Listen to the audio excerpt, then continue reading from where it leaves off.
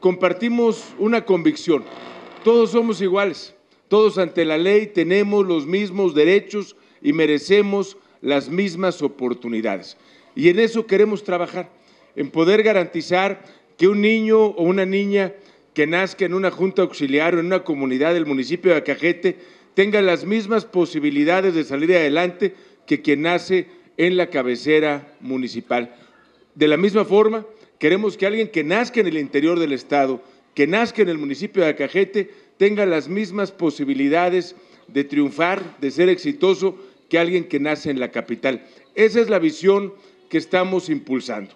Y en este sentido, con esa visión de igualdad, les diría que la salud es el derecho de todos los poblanos, que no puede ser el privilegio de quienes tienen dinero para pagar un médico particular o ir a un hospital privado.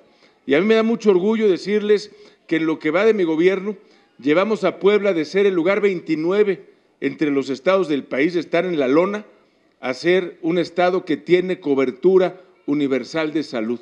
Y esto no solo es un tema importante desde el punto de vista del seguro popular, se vuelve fundamental cuando vemos las obras que estamos realizando. Aquí en Acajete ya tenemos el hospital Acajete Tepetzala que inauguramos recientemente, pero por supuesto no es suficiente. Debemos entender que el hospital es solamente para las personas que requieren hospitalización, que afortunadamente es la menor cantidad de casos. Normalmente los temas de salud los pueden atender en una primera instancia.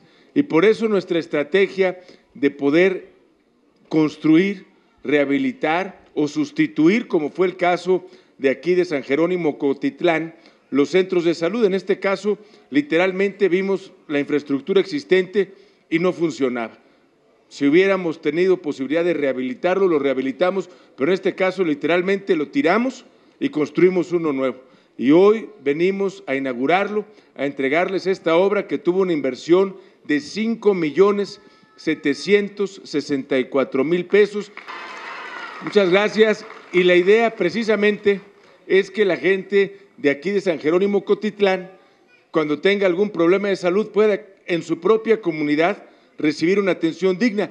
Ya si en el momento que le hacen el diagnóstico ven que es un asunto más delicado, pues entonces se traslada al hospital de Acajete Tepetzala, pero en la mayoría de los casos seguramente aquí mismo les van a poder resolver su problemática y esa es la intención, acercar los servicios a la gente. No queremos que el hospital esté congestionado porque además viene gente de otros municipios a usar los servicios de salud en el hospital. Por lo tanto, también con esta misma visión y reconociendo el tamaño de la Junta Auxiliar de Tepetzala, una de las primeras obras que hemos iniciado con Toño Aguilar y quiero reconocer el compromiso desde el primer momento en que ratificaron su triunfo, haciendo una aportación de recursos para esta obra tan importante.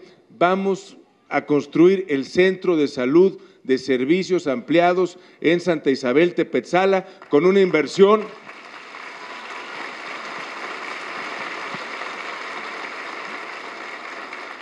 de 25 millones 794 mil pesos. Y en este sentido quiero agradecer, por supuesto, la donación del terreno, está muy bien ubicado y por supuesto hay una fecha de inicio, pero también siempre debe haber una fecha de entrega de la obra y el compromiso es que antes del primer informe de Toño Aguilar, que es el 15 de febrero, vamos a entregar el Centro de Salud de Servicios Ampliados de Santa Isabel Tepetzala.